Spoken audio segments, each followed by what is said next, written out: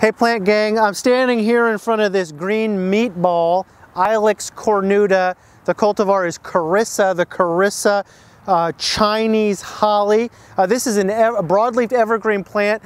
Uh, you know, I kind of say that in jest a little bit, this green meatball, but you know what? Sometimes uh, you need a green meatball uh, in a tough commercial landscape or a tough commercial situation.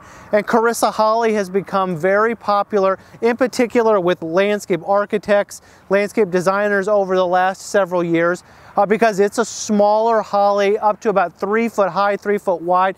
I've seen it bigger than that, but typically listed as a 3 by 3 plant. This is a dwarf Chinese holly. Um, it's different than the straight species of Ilex cornuta in that the leaves are entire, they're smoothed on the edge, they don't have a lot of spines on them. A little bit of a spine on the very tip of the leaf, uh, but overall smooth on the edges. Uh, so let's talk a little bit more about Ilex cornuta, the cultivar Carissa, the Carissa Chinese holly.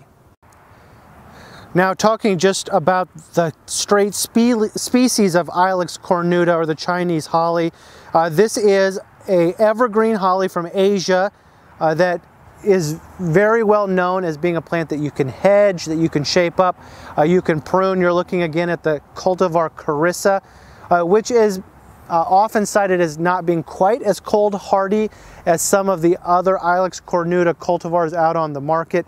Uh, but it is valuable because it is a dwarf. Uh, it has smooth edges instead, uh, leaf edges instead of uh, very spiny leaf age, uh, edges.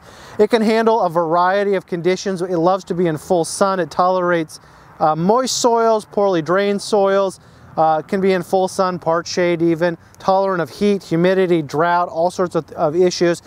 And so really that's why it has been planted widely. It is really a tough plant. You have to watch out for reversions. Uh, sometimes you'll see uh, this plant shoot out a reversion that's spiny and you should really get in there uh, and cut that off. Um, it is a plant that is very low maintenance, uh, low care, uh, and is typically used in tough commercial situations.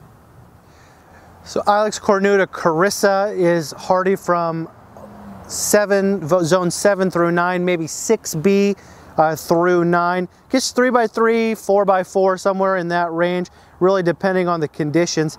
If it's in a little bit poorer soil, it actually may be a little bit more uh, well behaved from a size standpoint.